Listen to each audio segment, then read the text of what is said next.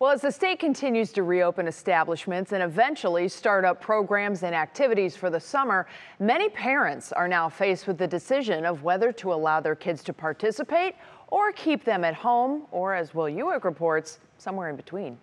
I think that every family is going to have to make that choice for themselves. For Marcy MacArthur, the mother of three kids ranging from 4 to 14 years old, the decision to allow them to take part in their usual activities isn't a clear one. The unknown is is what I think about. There has to be those precautionary steps to be taken so that parents feel comfortable enough that the kiddos are safe.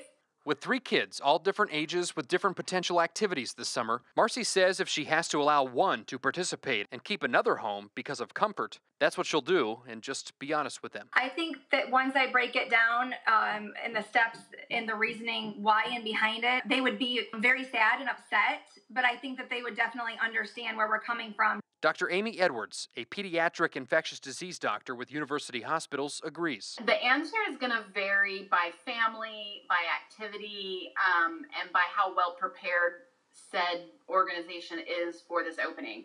It's all dependent upon individual situations. So, when it comes to things like pools, I'm actually pretty okay with that. Um, this virus is a respiratory virus, it is not going to stand up to the chlorine. For the rest, as far as like sports and summer camps, it, you're going to have to call and really talk to them about the safety measures that they're putting in place. So, when it comes to allowing your children to partake in typical summer activities that are now open, proceed, but with caution. This opening up is not a sign that this is over. This is so far from over. I think people need to be smart and use common sense. Will Ujek. Keep up the vigilance. We're not out of the woods yet. 3 News.